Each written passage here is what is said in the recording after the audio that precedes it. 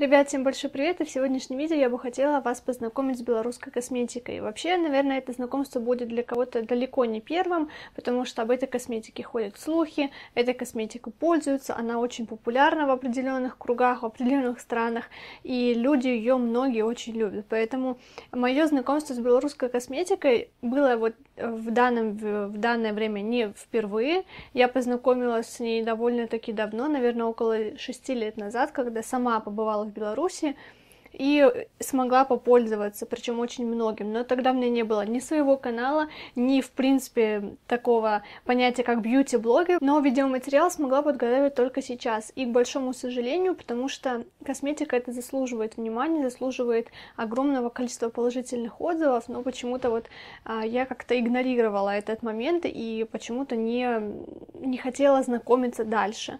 В общем, давайте начнем, наверное, с уходовой косметики. Фирма это Bell Cosmetics, Комикс, и это масло баттер для тела с маслом облепихи. Стоило всего 76 рублей, что за такой объем, здесь 150 граммов, очень бюджетно, очень выгодно, очень была, знаете, так сомнительно настроена, потому что, ну, как-то не верится, знаете, что за такую стоимость можно что-то хорошее и качественное получить. Однако я была очень впечатлена. Насчет консистенции самого продукта, это действительно масло баттер. Странная на самом деле консистенция, не похожая на другие, потому что если это баттер, то он скорее зефирный, очень воздушный и достаточно плотный, который тяжело распределяется даже по телу. Если это лосьон или молочко, они слишком жидкие. Это что-то среднее между густым зефирным баттером и жидким молочком.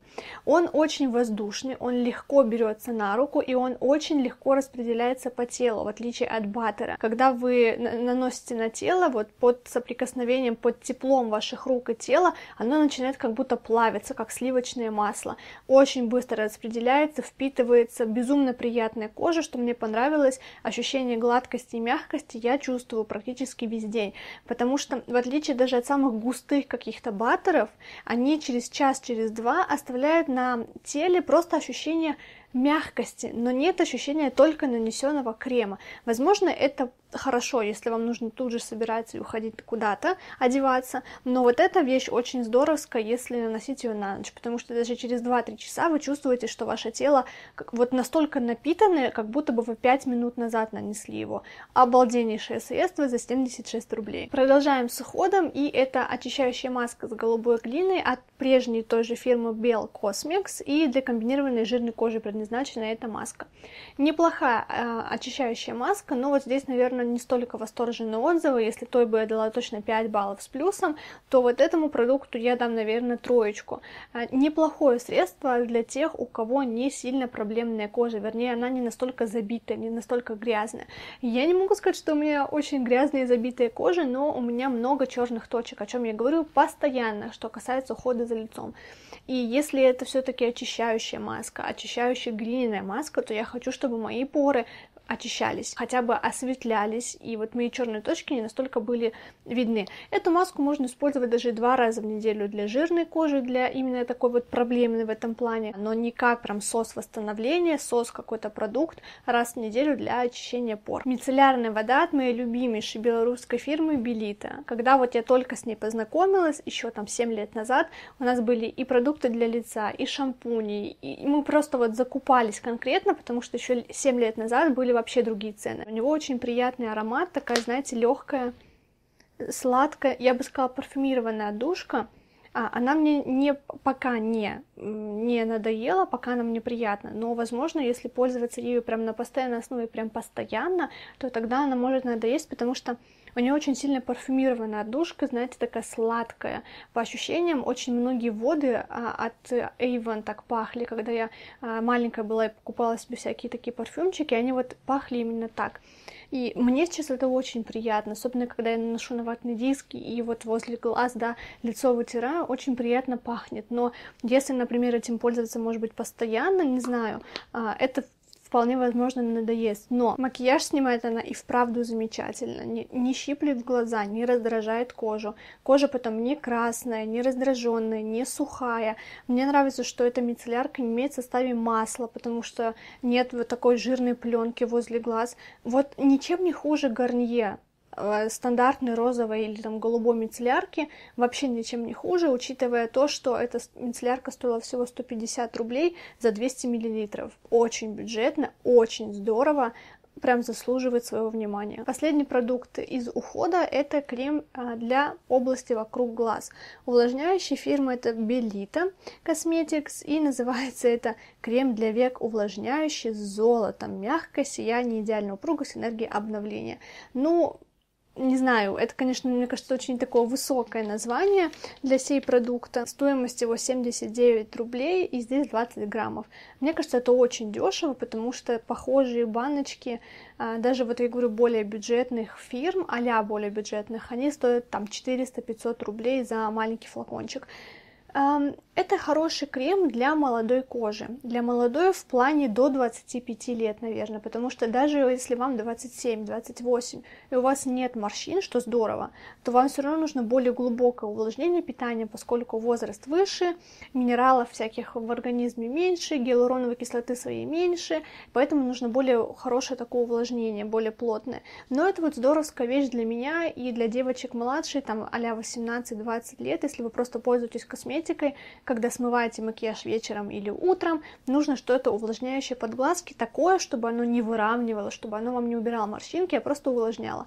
Вот эта вот здоровская штука, которая создает матовую кожу после нанесения, абсолютно без какого-то подсвечивания или сияния, но при этом абсолютно гладкую, мягкую, приятную, такую заполненную. Я говорю, поскольку мне всего 22, и у меня нет никаких морщин, у меня нет синяков под глазами, это просто вот такое хорошее увлажнение утром, когда мне нужно накраситься, или просто утреннее увлажнение не совсем вот жирное питательное, чтобы у меня очки спадали. Поэтому это вот просто такой хороший вариант для молодой кожи. Продолжаем с декоративной косметикой, и я попробовала очень популярную тушь для ресниц от Rila XXL. Это немножко усовершенствованная такая серия, есть самая стандартная а, черная с красными буквами, это немножко вот видоизмененная какая-то. Естественно, на что я опираюсь при выборе туши, это силиконовая щетка четко. Мне не подходят другие, потому что у меня тяжелые густые ресницы, которые не держат свой практический изгиб даже с подкручивалками, и, как правило, именно такие пушистые щетки, они не способны мне их так вот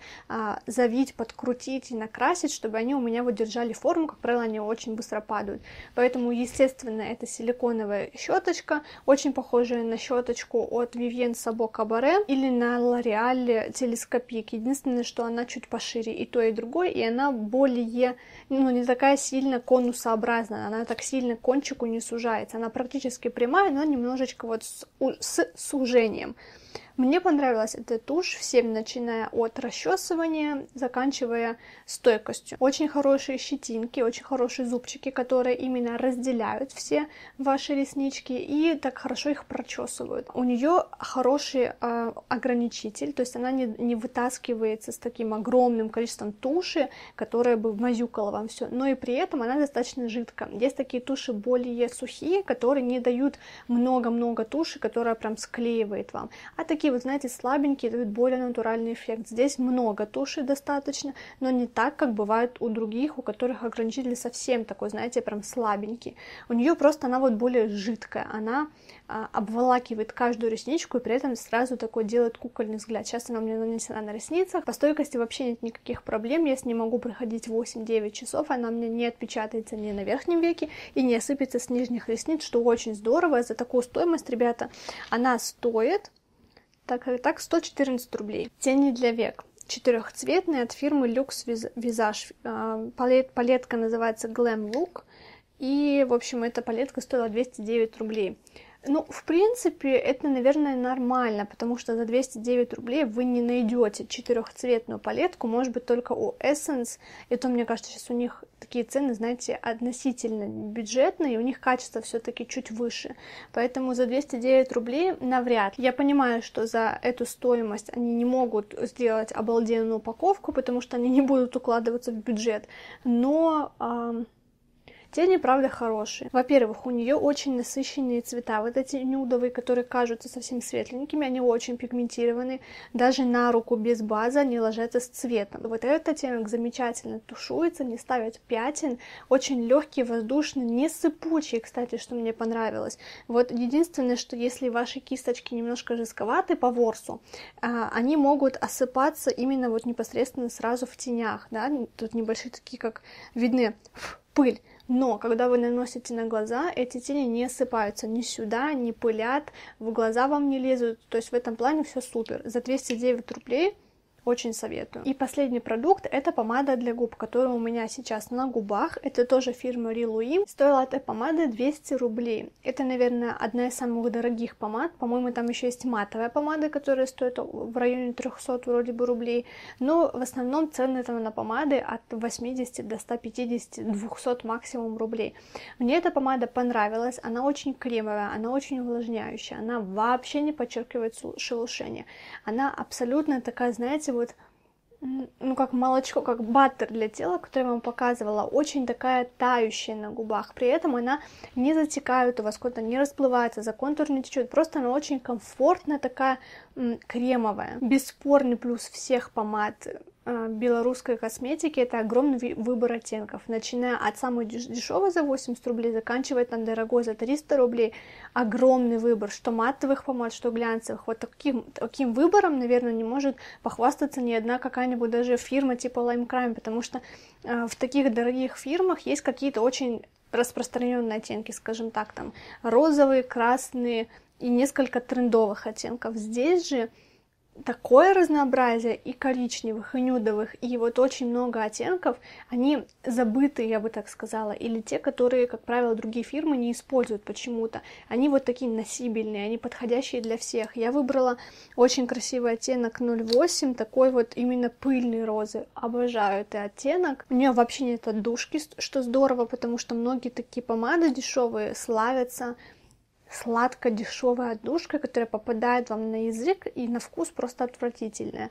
Здесь такого нет, она безумно комфортная, она съедается, естественно, она не стойкая, но она съедается не пятнами, не кусками, она просто стирается и очень ровно, она не оставляет контуры за собой. Ну и, конечно, маленький такой нюанс, это упаковка абсолютно черная, да, это дешевый пластик, но тем не менее это уже, знаете, лучше, чем полупрозрачные упаковки, которые вот, ну, просто Avon 2008. И, в общем, открывается она вот таким образом, как помады Герлен многие, и, в общем, многие другие люксовые упаковки. Такая вот маленькая пулька отсюда вылетает очень здоровская. Такое у меня было первое а второе знакомство с белорусской косметикой. Это не все, это только часть. Другую часть косметики я тестирую. И, конечно же, ждите вторую часть для того, чтобы не пропустить этот ролик. Обязательно подпишитесь на мой канал, поставьте уведомления, нажав на колокольчик. Ну и можете подписаться в Инстаграм, заодно я там всегда сообщаю. Поэтому, э, да, надеюсь, что вам это видео было полезно. Лайкните, чтобы я знала. И большое спасибо за внимание. Увидимся в следующем ролике. Всем пока!